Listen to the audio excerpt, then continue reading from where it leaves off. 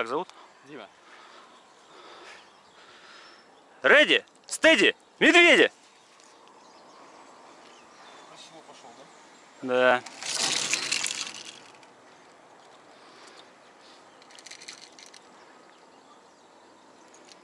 Шатный.